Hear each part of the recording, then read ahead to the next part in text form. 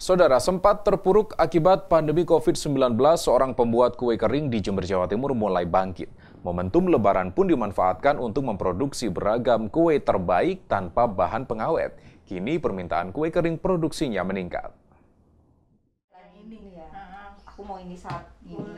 Menjelang Idul Fitri, produsen kue kering bergeliat.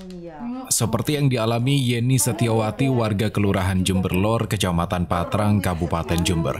Setiap hari di bulan Ramadan, ia disibukkan dengan membuat beragam kue kering seperti kastengel, kue putri salju, palm cheese, banana cookies, dan lidah kucing rainbow. Kue dikemas dalam toples cantik siap saji. Ia menjualnya dengan harga terjangkau antara Rp50.000 hingga Rp90.000 per toples. Kue kering produksinya banyak diburu warga karena tanpa bahan pengawet.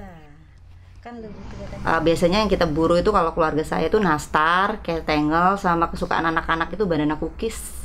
Di situ juga ada red velvet juga. Untuk harga bu? Harganya terjangkau, terjangkau yang penting kualitasnya yang oke. Okay. Usahanya yang dirintis sejak 10 tahun lalu perlahan mulai bangkit kembali dengan cara memasarkannya secara daring. Setiap hari, Yeni mampu menjual 100 toples kue kering. Uh, seiring ini ya, berjalannya waktu, uh, apalagi sekarang Jember mulai zona hijau. Jadi mulai bangkit lagi lah, sedikit demi sedikit lah.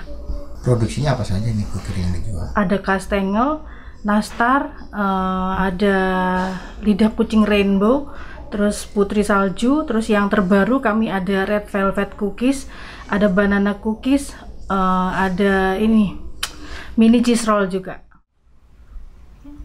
Yeni berharap pesanan kue kering terus meningkat seperti tahun-tahun sebelumnya, yang dalam sehari bisa terjual 250 toples. Tim Liputan Kompas TV Jember, Jawa Timur.